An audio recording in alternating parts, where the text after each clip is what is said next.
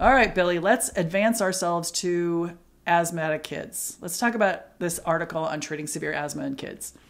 So this is sort of a review of the evidence uh, up to date, and it's um, the subtitle is "Improving Management of Severe Asthma, BiPAP and Beyond," and we're talking about the pediatric population. This is in Clinical Pediatric Emergency Medicine. It's a 2018 paper.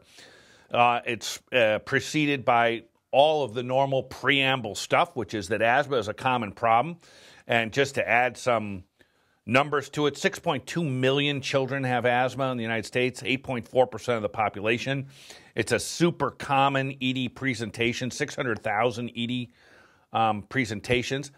And some of them are scary as hell. So the hyperacute crashing asthmatic when they're kids, um, there are deaths in that group, hundreds of deaths, a couple hundred a year. And those deaths from asthma overall were increasing. And some 15 years ago, 20 years ago, this resulted in the National Airway, a National Asthma Education um, and um, uh, Prevention Program, which first came out in 1989, which really focused on what's the relationship between these kids and their ED presentations and the rest of their care, and tried to sort of get people on board with standardizing their care. And that's made reference to in multiple places in this particular manuscript as well. When an asthmatic comes to the emergency room, there are three main treatment goals. One is to correct hypoxia, two is to re- reverse their airflow obstruction as rapidly as you can, and reduce the likelihood of relapse and reduce the likelihood of hospitalization as well, I would add. Basic treatment includes inhaled oxygen, systemic corticosteroids, inhaled beta agonists, and inhaled ipratropium. And I think that would be no surprise to anyone. In terms of corticosteroids, I sometimes seen people who have been seen at another ER and referred to ours another, and they've never received steroids. They've just stayed with the um, beta adrenergic inhaled agents. And steroids are really indicated for all patients who come to the emergency room with an ex- asthma exacerbation. I'm always telling the residents, you need to give me a really good reason why you wouldn't do it. Um, there's um, synergistic uh, with um, the um, beta agonists. They decrease airway inflammation. Remember, there's two po- components to this disease. There's the inflammation and then the bronchoconstriction. Early administration is important to treatment. So, as I say, you don't want to delay with these, and delay increases likelihood of admission in several uh, prospective trials. Um, like everywhere else, though, it doesn't really matter which route you go. Oral or IV are equally effective. Guidelines currently recommend the oral route. But I'll just say this the guidelines don't really focus on the emergency setting. So if you've got a kid who's in distress and the idea that you're going to give them something oral that tastes like crap and make them cough, mm, I'm not going there if I don't have to. I'll probably go IV in that particular setting. Um, in terms of whether you should be at two milligrams per kilogram or one milligram per kilogram, again, lots and lots of studies have looked at this. And it turns out you don't get any benefit by going to the higher end of the dose range. Uh, doses over two milligrams per kilogram are not more effective, and they're not recommended even in severe cases because they just bring um, side effects to bear. So there's no point in pushing them, but you should give them, and you should give them early. Dosing, and they go through here oral dosing, IV dosing, and talk about discharge management. You can see them all here on the slide in terms of what they're recommending. And you can see that if you're talking about prednisone, there's no point in pushing to two. You can go one milligram per kilogram. If you're going IV, you can go straight up with two milligrams per kilogram of methylprednisone, a max of 125, and um, discharging them. Um, you can either give a second dose of dexamethasone because it lasts sort of, you know, 48, 72 hours, um, um, or you can complete a five day course of PO prednisone or whatever equivalent steroid you want to use. In terms of uh, inhaled beta 2 agonists, you're going to go after them with short acting beta agonists, which is first line. They're going to promote bronchoconstriction. The dose in children um, uh, under age 12, less than 35 kilograms, is going to be 0.15 to 0.3 mg per kg, up to 10 milligrams every one to four hours. And if they're sicker, you're going to go continuously.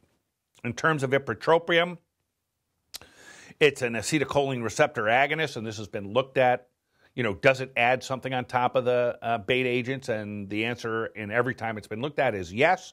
It will decrease bronchoconstriction in an additive way. Recommended in severe exacerbations. Give it along with your short acting beta agonist. Um, but don't use it as a sole agent. Use it on top of the short acting betas. Improves lung function, decreases hospital admissions, particularly in the severe um, exacerbations. Dose 0.25 to 0.5 every 20 minutes times three, and then every six hours as needed. Um, severe asthma treatment, continuous beta agonists. Certainly, if you're seeing a sick kid or, or they're not responding, then you want to up the ante here. What are the side effects of giving continuous beta agonists and increasing that uh, route uh, of administration? Is hypokalemia, dysrhythmias, tremors, diastolic hypotension. Truthfully, I, I think these are not very common or of huge concern. They're noted. At very high doses, you might see lactic acidosis. And in these kinds of kids, usually have a line in, and I'm usually giving fluids as well. Um, they may have increased tachypnea if their acidosis is severe, so that's a little bit of a problem. Uh, but I think overcoming their bronchoconstriction is still the most important thing. And if you're going with continuous beta 2 agonists, they recommend continuous monitoring. I think that would be happening in most any setting where that was happening.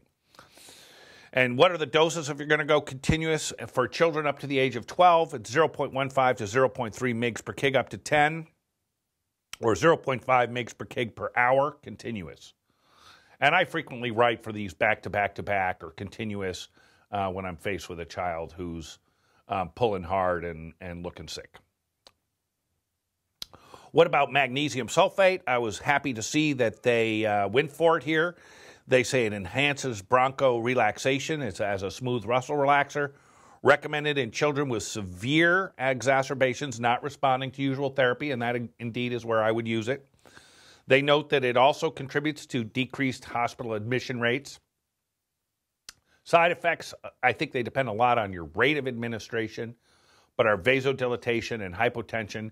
And they say consider uh, current IV isotonic fluids, and I'm all for that.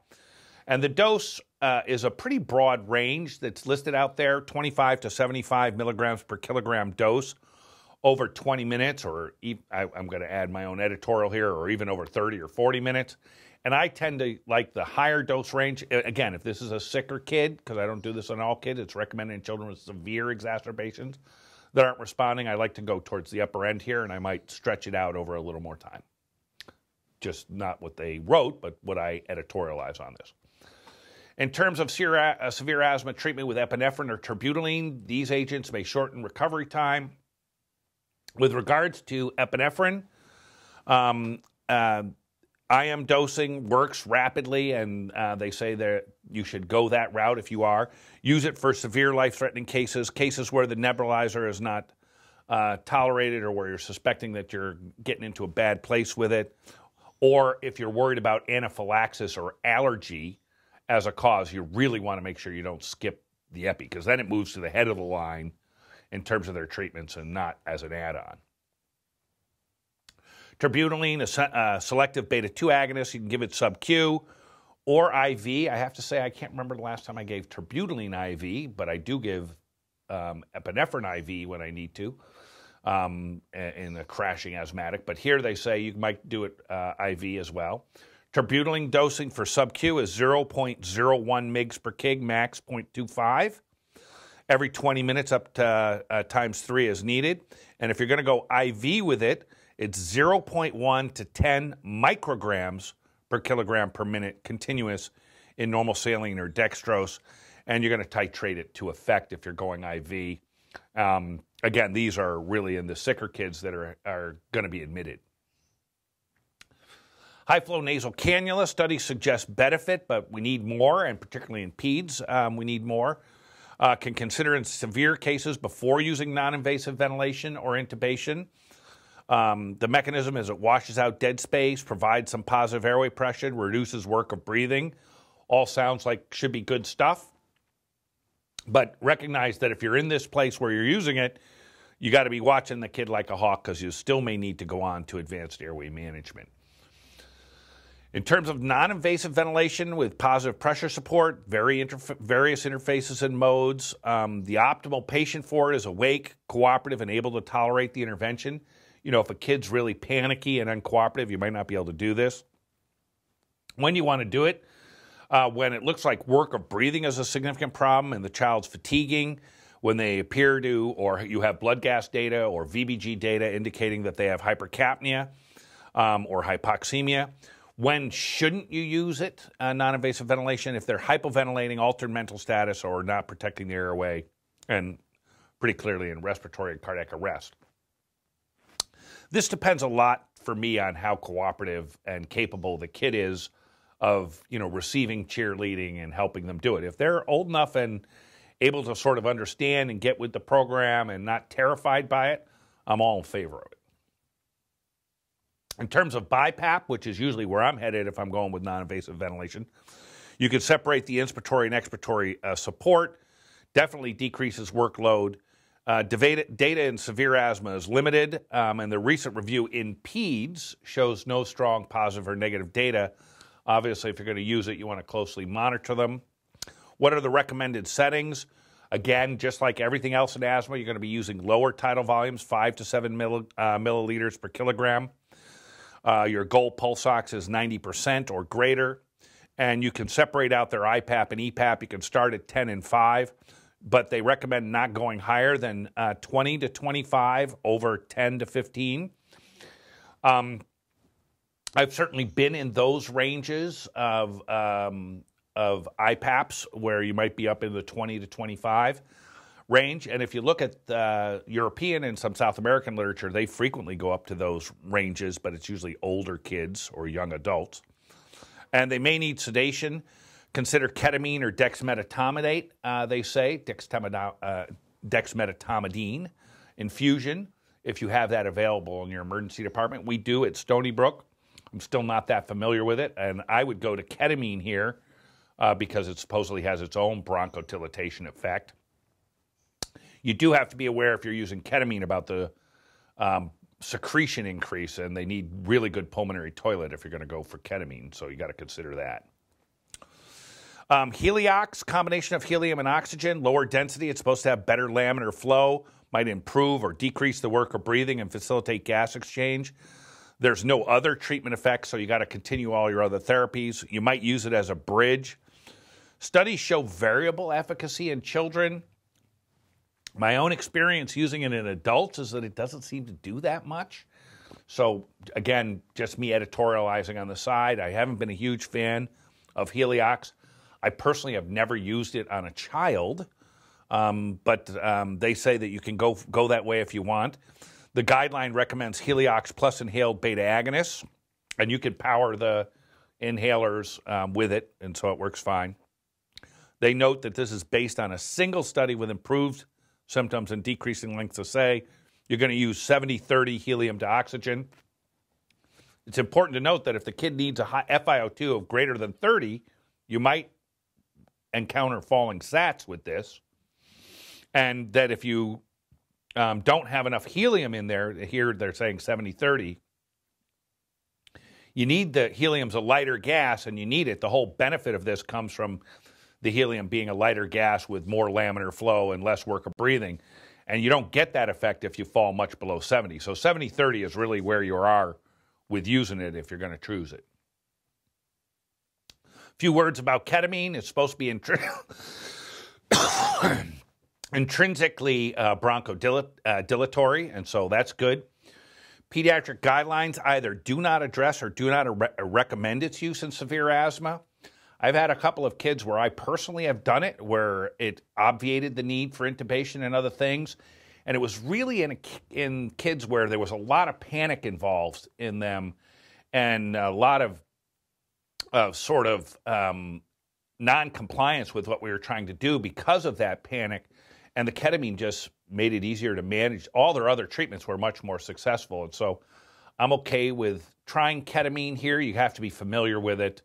Um, but uh, the um, current guidelines for PEDS either do not address it or do not recommend it.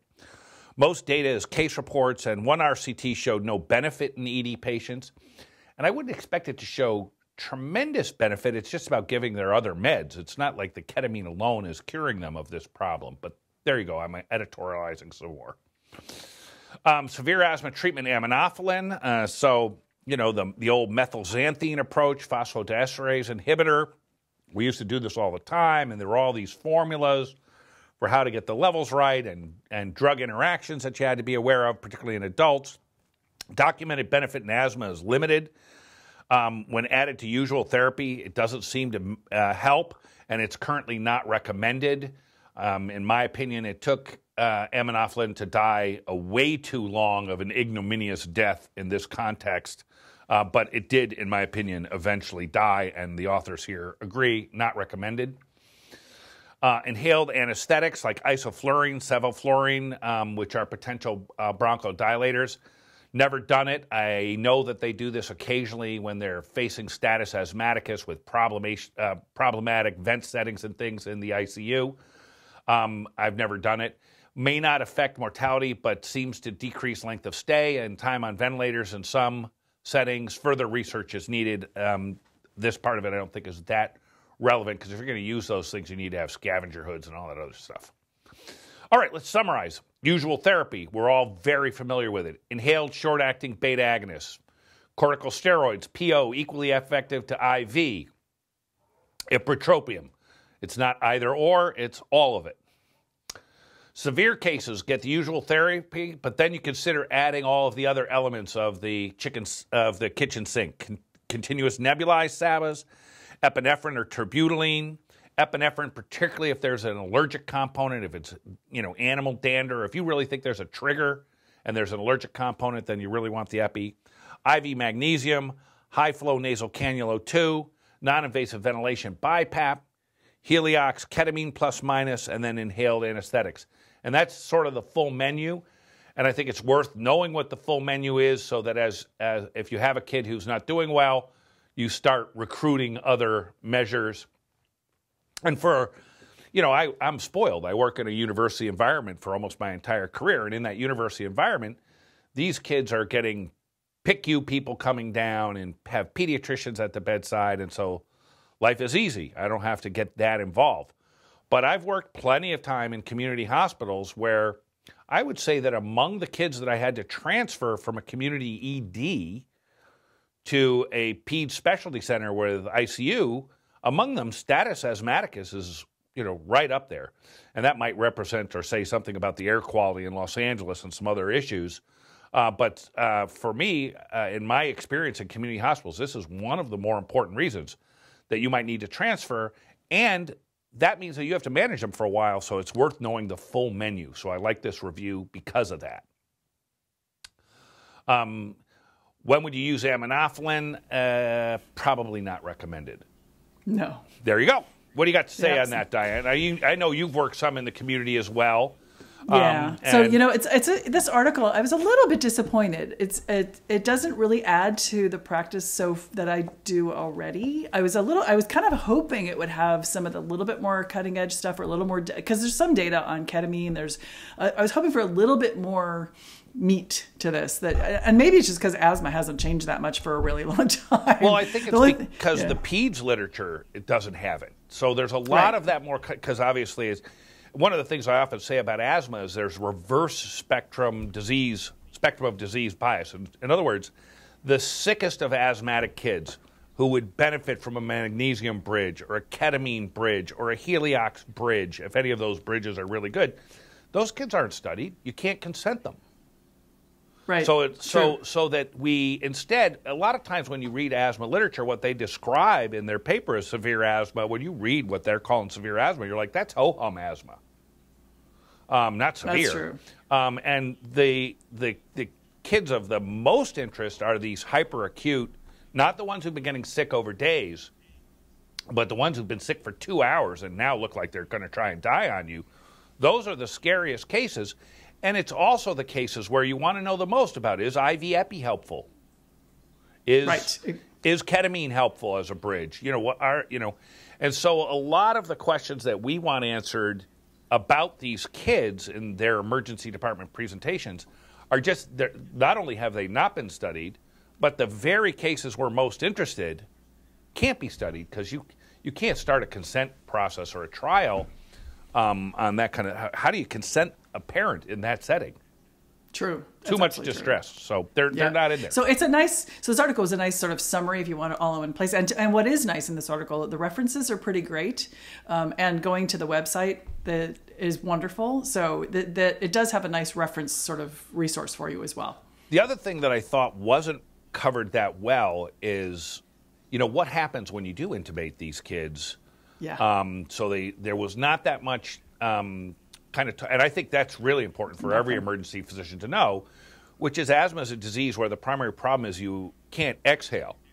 So hooking them to a machine to make them inhale more is really inviting barotrauma, pneumothorax, and a whole hypotension, hypotension, right. a whole variety of things to the table. And while this article did not address any of those things, I think knowledge of all of those things and what to deal with are really important parts of emergency care when you see a kid that's so sick that they need to be intubated. And the other the other thing they didn't deal with at all are some of the other sort of things about you know manual exhalation and some of those other things you know recruitment basically alveolar recruitment tools that you might employ before before you go to intubation because intubation is a is a last ditch move in these, and many of these kids get worse after you intubate them. I mean, it's right. you know that's, it is, the, that's it, it was, it was a spiral. Pediatric emergency medicine publication, and it was on severe asthma, and it is kind of a big gap not to have anything about intubation and what then in this article. And even I the agree. and even the recruitment tools that you might use, and and also not specifically dealing with the panic component because. Um, some of these kids, who particularly the acute, severe crashing ones, have a major component of panic that is part of the flail to this. And I, am not saying it's not appropriate. I'd panic if I thought I couldn't breathe and was dying too. Right. Um, and I think the ketamine in some of those kids, where suddenly now you they can comply with their short-acting betas and other things are happening, you don't need to intubate them. They got ketamine, but not as part of ketamine for intubation. They got ketamine and didn't need it.